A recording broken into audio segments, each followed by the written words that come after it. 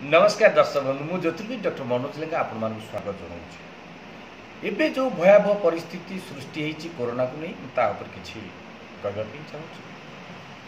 ଯାହା ଜ୍ୟୋତିଷ ସମ୍ମତ ଅଟେ ଜ୍ୟୋତିଷ ଶାସ୍ତ୍ର ସମ୍ମତ ଅଟେ ଛବିଶ ଡିସେମ୍ବର ଦୁଇ ହଜାର ଉଣେଇଶରେ କେତୁଗ୍ରସ୍ତ ସୂର୍ଯ୍ୟପରାଗ ହୋଇଥିଲା। ଯାହା ଆମେ ସେଦିନ ସ୍ପଷ୍ଟ କରିଥିଲୁ ଯେ ପୃଥିବୀ ପୃଷ୍ଠରେ ଅନେକ ଭୟାବହତା ଦେଖାଦେବ।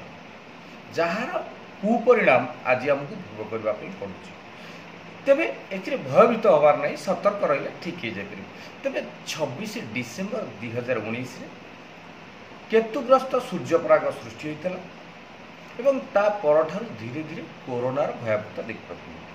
ଏବଂ ସେହି ସମୟକୁ ଯଦି ଦେଖିବା ଆଲୋକପାତ କରିବା ତେବେ ରାହୁ ଆଦ୍ରା ନକ୍ଷତ୍ର ମିଥୁନ ରାଶିରେ ଏବଂ କେତୁ ଧନୁ ରାଶି ମୂଳା ନକ୍ଷତ୍ରରେ ଥିଲେ ଏବଂ ଧନୁ ରାଶିରେ ବୃହସ୍ପତି ମଙ୍ଗଳ ଯୋଗକାତ ହେଇକରି ଥିଲେ। ଜାନୁଆରୀ ଚବିଶରେ ଧନୁ ରାଶିରୁ ମକର ରାଶିକୁ ଶନି ଚଳନ କରିଥିଲେ ଏବଂ କେତୁ ଏବଂ ବୃହସ୍ପତିଙ୍କର ସଂଯୋଗ କାରଣରୁ ଏହା ଆହୁରି ବଢ଼ିବାରେ ଲାଗିଲା ଯାହା ଡିସେମ୍ବର ତିରିଶରୁ ଧୀରେ ଧୀରେ କରୋନା ଅନ୍ୟ ଦେଶକୁ ବ୍ୟାପିଲା। ଏବଂ ଜାନୁଆରୀ ଚବିଶ ପରେ ଏହା ବହୁତ ପରିମାଣର ବଢ଼ିବାକୁ ଲାଗିଲା। ଏବଂ କେତୁ ଏବଂ ରାହୁଙ୍କ କାରଣରୁ ଏବଂ ବୃହସ୍ପତି ହେଉଛନ୍ତି ଜୀବର କାରକ। ତେଣୁ ସେଇ କାରଣରୁ ସଂଯୋଗ କାରଣରୁ ଏ ପୁରା ପୃଥିବୀ ସାରା ପୁରା ବ୍ୟାପିବାକୁ ଲାଗିଛି। କିନ୍ତୁ ପ୍ରତ୍ୟେକ ଜିନିଷର ଉତ୍ପତ୍ତି ଅଛି ବିଲୟ ମଧ୍ୟ ରହିଛି। ତେବେ ଯଦି ଦେଖିବା ମାର୍ଚ୍ଚ ତେଇଶ ତାରିଖରେ ମଙ୍ଗଳ ଧନୁ ରାଶିରୁ ମକର ରାଶିକୁ ଚଳନ କରିବେ ଏବଂ ତିରିଶ ତାରିଖରେ ବୃହସ୍ପତି ମଧ୍ୟ ମକର ରାଶିକୁ ଚଳନ କରିବ। ଅର୍ଥାତ୍ ତେଇଶ ମାର୍ଚ୍ଚ ଦୁଇ ହଜାର କୋଡ଼ିଏ ଠାରୁ ଧୀରେ ଧୀରେ କରୋନାର ଭୟାବହ ରୂପ କମିବାକୁ ଲାଗିବ। ଏବଂ ଆମେ ତିରିଶ ତାରିଖ ମାର୍ଚ୍ଚ ଦୁଇ ହଜାର କୋଡ଼ିଏ ଦିନ ଏହାକୁ ଅନୁଭବ ମଧ୍ୟ କରିପାରିବା। ଏବଂ ପଚିଶ ମାର୍ଚ୍ଚ ଦୁଇ ହଜାର କୋଡ଼ିଏ ହେଉଛି ହିନ୍ଦୁ ନବବର୍ଷ। ତେଇଶ ପରେ ପଚିଶରେ ମଧ୍ୟ ଆମକୁ କିଛି ଅନୁଭବ ହେବ ଯେ କିଛି କିଛି ପରିମାଣ କମୁଛି ବୋଲି।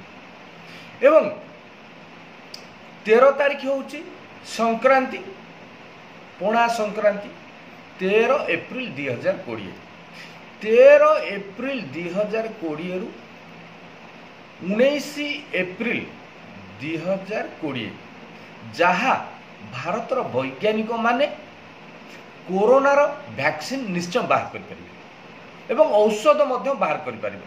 ତାର କାରଣଟି ହେଉଛି ପୂର୍ବରୁ କାହିଁକି ବାହାର କରିପାରୁନଥିଲେ ତାର କାରଣଟି ହେଉଛି ରବି ବା ସୂର୍ଯ୍ୟ ନିଚସ୍ତ ହେଇକି ଥିଲେ। ତେର ତାରିଖରେ ରବି ନିଜ ଉଚ୍ଚ ରାଶି ମେଷ ରାଶିରେ ଚଳନ କରିବେ।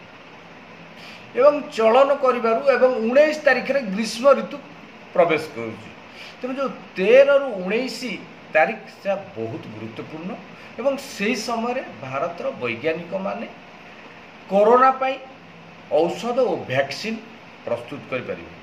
ତା ସହିତ ଉଣେଇଶ ପରେ ଆପଣ ଅନୁଭବ କରିବେ ଧୀରେ ଧୀରେ ପୁରା କମି କମିଯିବ ଏବଂ ଏପ୍ରିଲ ତେଇଶ ସୁଦ୍ଧା ପାଖାପାଖି ଷାଠିଏରୁ ସତୁରି ପରସେଣ୍ଟ କିମ୍ବା ଅଶୀ ପରସେଣ୍ଟ ଦେଖିବେ କରୋନା ରୋଗୀ ଭଲ ହେବେ ଏବଂ ଯଦି ପୁରା ଭାରତର ସ୍ଥିତିକୁ ଦେଖିବା ଭାରତରେ ଏହାର ବହୁତ ପ୍ରଭାବ କମ୍ ରହିବ ଏବଂ ଓଡ଼ିଶାରେ ତାଠାରୁ ଆହୁରି ପ୍ରଭାବ ମଧ୍ୟ କମ୍ ରହିବ କିନ୍ତୁ ଏଠି ଗୁରୁତ୍ୱପୂର୍ଣ୍ଣ କଥା ହେଉଛି ସରକାର ଯେଉଁ ପ୍ରତିବନ୍ଧକ ଲଗେଇଛନ୍ତି ସତର୍କତା ଅବଲମ୍ବନ କରିଛନ୍ତି ଆମେ ଯଦି ଭାରତ ସରକାରଙ୍କର ଓଡ଼ିଶା ସରକାରଙ୍କର ଯେଉଁ ସାମାଜିକ ଦୂରତା କଥା କହିଛନ୍ତି ଆମର ଡାକ୍ତରମାନେ ବୈଜ୍ଞାନିକମାନେ ମଧ୍ୟ ଯେଉଁ ପରାମର୍ଶ ଦେଇଛନ୍ତି ଆମେ ଯଦି ତାକୁ ଗ୍ରହଣ କରିବା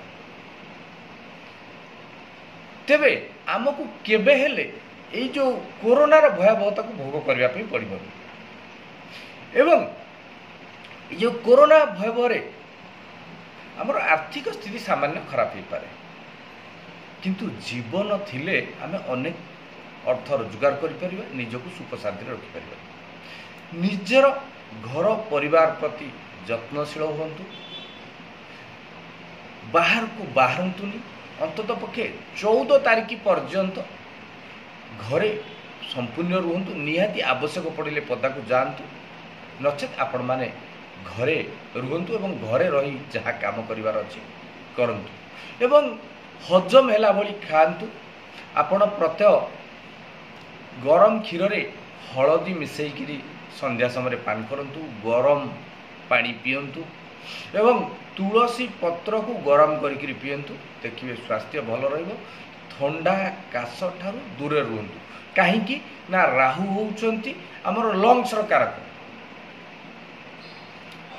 ଏବଂ କେତୁ ହେଉଛନ୍ତି? ହୃଦୟର କାରକ। ଏବଂ ରାହୁ କେତୁର? ସଂଯୋଗ ଫଳରେ ଆମ ଲଙ୍ଗସ୍ ବା ଗଲାରେ ବା ଗଳାରେ ସମସ୍ୟା ତିଆରି କରିବ। ଯେଉଁଟାକ କି ହେଉଛି ଆମ ଶ୍ୱାସ ପ୍ରଶ୍ୱାସରେ ସମସ୍ୟା ଆସିବ। ଯେଉଁଥିପାଇଁ ଶ୍ୱାସ ପ୍ରଶ୍ୱାସରେ ସମସ୍ୟା ଆସିକି ହିଁ ଲୋକଙ୍କର କରୋନାରେ ମୃତ୍ୟୁ ହେଉଛି। ତେବେ ଆପଣ ସତର୍କତା ଅବଲମ୍ବନ କରନ୍ତୁ ଖୁସିରେ ରୁହନ୍ତୁ। ଜୟ ଜଗନ୍ନାଥ। ନମସ୍କାର।